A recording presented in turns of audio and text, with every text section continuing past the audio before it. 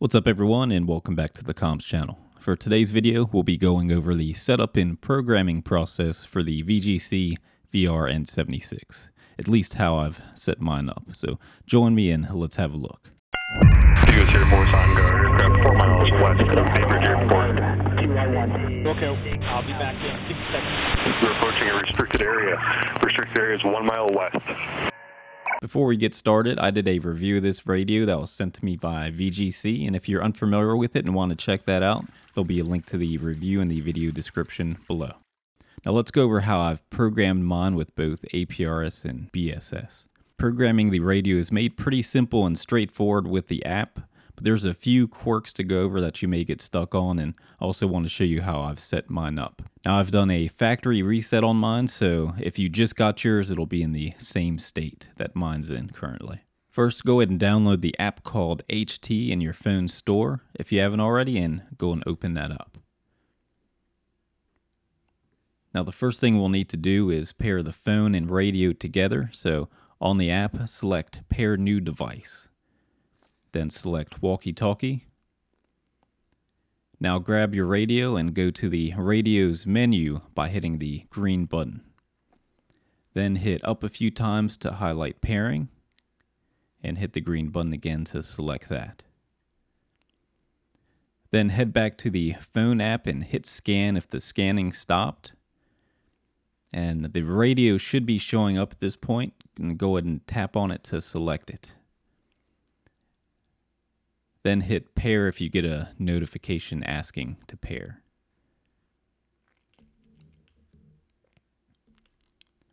After that, the phone and radio pairing should be successful and we can move on to setting things up. Now let's start off with the quirky thing I mentioned. The APR setting requires an APRS passcode, which is unusual compared to other APRS radios I've used, and this is really only required for APRS IS, which is the Internet Connected APRS network. Now, this radio requires this passcode to use APRS at all, however, but it's pretty easy to do, so let's go through that process now by going to the three dot menu on the top right, then Settings, and select APRS Settings. Now, on that page, there is a Get Passcode option, but that takes you to a Chinese website. And my Chinese is pretty rusty, so the only thing I understand on this page is APRS and IS. Luckily, there's an easy way to get your passcode, which is just a number derived from your ham radio call sign. There's code on GitHub for this and a number of websites online using this code, so you can generate this passcode using your call sign yourself. And I'll leave a link to one of these sites in the video description below. So once you go to that site, simply enter in your call sign, click generate, and you'll be provided with the passcode. So now that we have that, you can go and enter in your call sign and then the SSID if desired. Now, if you're new to APRS and unfamiliar with SSIDs, these are an optional number that you append to your call sign to let others know info about your station or activity. I've included a list of these recommended SSIDs on the left. After entering in your call sign and SSID, hit verify passcode and we should see passcode is correct if everything went well. Now below that we'll see an iGate service section. An iGate is a bridge from the radio APRS network to the APRS IS network, which is the internet connected APRS network, like I mentioned earlier. This is similar to Meshtastic and MQTT, if you're familiar with that. So there is a server option that's set to Asia, but you'll probably want to change that to the country you're in if you're non Asia. Then there's options for radio to internet, internet to radio, receive messages via internet, and range options that you can adjust to fit your need. For me, mixing internet and radio has always felt like cheating, and I prefer completely off grid comms. So, if you're like me, we can simply turn off the toggle switch for iGate service. Then, below that, we have a share location section. The first option here is where you can auto share your location over the internet if you like. Then below that, we have options for location source, which can either be system, which is the GPS location, or we can use specific coordinates here. Next, we have how often you want to transmit your location. Then below that, APR supports a number of different icons that you can use, and whatever icon you select here is what you'll be seen as on the map to other users. Then the next options are if you want to transmit the current voltage or operating system, you can go ahead and flip these on as well. We can also set a message to be sent along with our location. So let's say we're monitoring another frequency for voice comms. We could put in something like voice 146.520. And with that, we have this APR settings page configured and can hit back. Next, let's go to ID signaling for some more APR settings we need to go and configure. If we go down to the automatically share location section, there's options for internet sharing and radio sharing. Turn these on to fit your needs. The internet sharing will share your location using the APRS IS network, and radio sharing will have your radio transmit its location. For my use, I'm just going to enable radio sharing only. Then we can select how often the radio will transmit the location. Five minutes is usually a good one to go with, and I don't recommend anything under a minute, as that will just create congestion and use more battery. Then you may notice we have some of the same settings from the previous APRS menu, like send power voltage and message. I believe the previous APRS menu is more internet focused, as the only setting there that seems to do anything, radio transmission wise, is the icon selection. So for here, if we want to send power voltage, we can go and turn that on. And then for message, I'll do the same voice 146.520 like we did in the other menu. Next, we want to use the APRS format. Otherwise, this will use BSS, which isn't really used in the US and shouldn't be used on the main APRS frequency. Here in the US, that's 144.390, and we'll get into some uses for BSS here shortly though. So with that, we have these APR settings configured, and we just have one more menu we need to go to. So let's hit back a few times until we get back to the map. Now that we're here, let's hit the three dot menu again, then device settings, and then signaling settings. So here we have the last APR settings we need to configure. So let's set the channel setting to channel 16. We'll be programming channel 16 as the APRS frequency in a bit. Now for the path, we have a number of options. The usual default and recommended path is wide 1-1, wide 2-1. Now these path settings are how many hops your transmission will take. It's a bit of a complicated subject that's beyond the scope of this video, but I'll likely do a video on it soon. For now, I would stick with the recommended path, which is again wide 1-1, wide 2-1. Now at the bottom here, we also have a path with ARISS in it. This is the path used by the International Space Station's Digipeater, and you'd want to use this path as it's flying over if you want to send a APRS packet through it. More on that in a, another video though. For now, we'll go with wide 1-1, wide 2-1.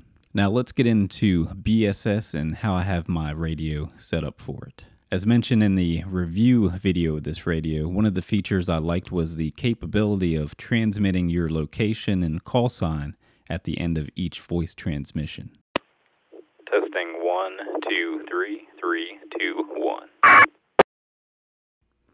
This could also be a tactical call sign as long as you're using your ham radio call sign as required. Now, this is handy if you want to be able to transmit your location to other team members without having to use a secondary frequency for APRS. The other users have to, of course, also be using a radio with BSS capability for this to work. Now, one thing to note on BSS before some upset people show up in the comments section again, since BSS isn't APRS, it's best to keep it off of the APRS frequency. Now, I've been putting these nice calming videos of radios and creaks at the end of my videos in hopes that the angry commenters would calm down, but somehow they continue to be angry, unfortunately. But with that said, let's go ahead and set up BSS now. From the main map screen here, we can go to the three dot menu, settings, ID signaling. Then we have a nickname option here, and this is where you can either set your ham radio call sign to be transmitted or a tactical call sign if you prefer.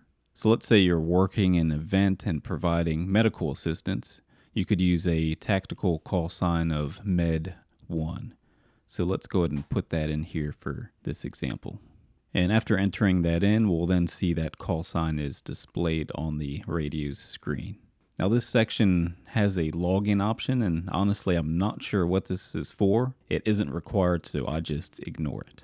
And next we have an ID signaling section. So to transmit the call sign we just entered, flip the toggle switch on for the ident info.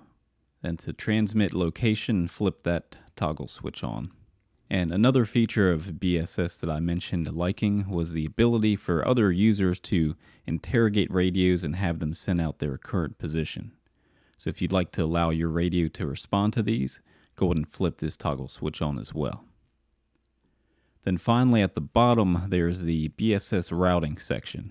This seems to be for the ability to rebroadcast BSS transmissions, but I've not gotten a chance to experiment with this yet as I'm waiting for another radio to come in.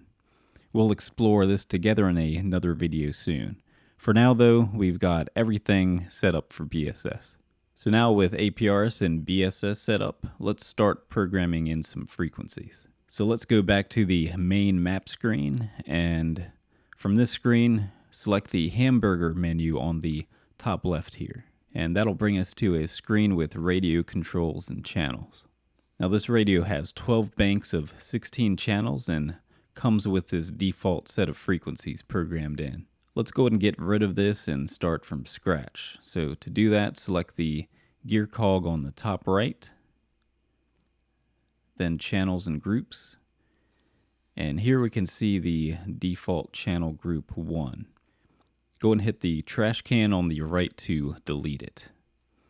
Now let's add a new channel group by selecting New.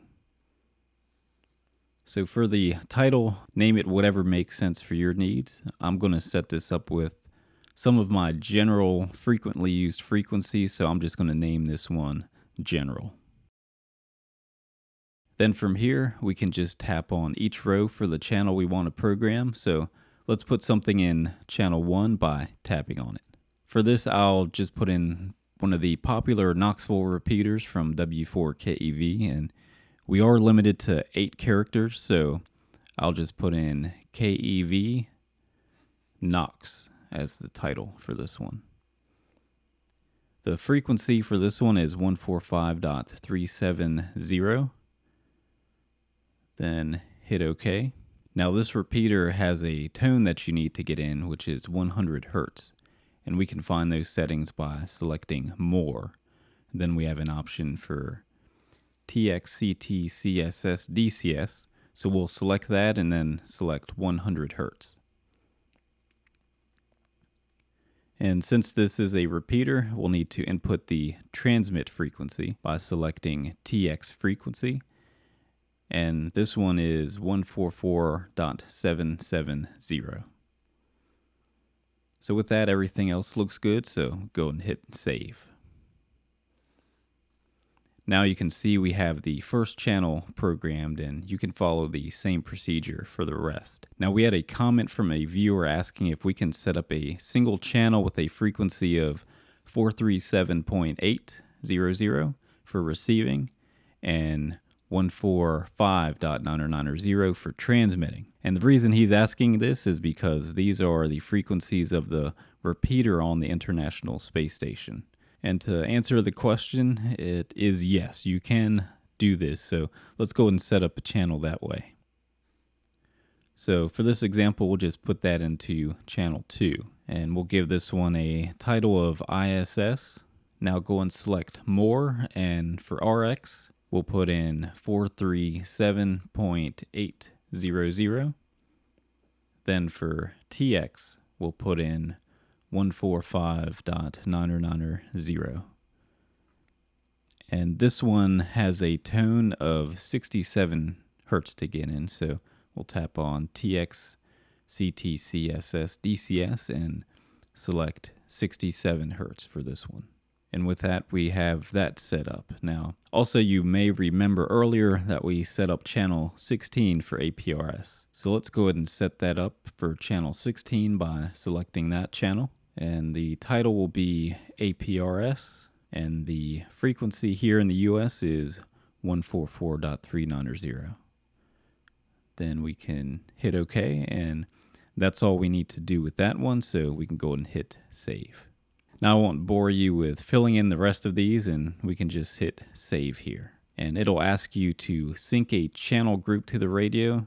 We just did group one so we can go and select that and then the radio will have those channels on the radio itself. Then from here you can go and add channel groups to fit your needs. For example, I enjoy aviation and I also forgot to mention that this radio will also pick up the aircraft frequencies in AM. So I'll add a group called VHF Air and add whatever aviation related frequencies in there. Then add a group with all the 2 meter repeaters and another with all the 70 centimeter repeaters and so on. Just set this up however makes sense for your needs. Once we have all of the channel groups programmed in, let's go back to the radio control screen here. Then on this screen, we have an icon that looks like a map, and if we select this, we'll have our list of channel groups we created, and we can switch back and forth from what channel group the radio is using from here.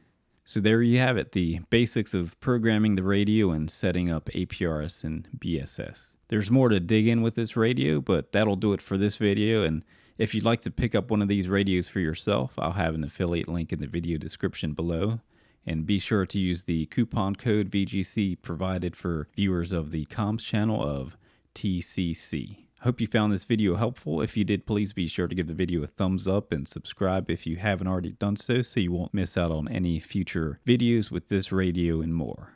Thank you all and have a good one.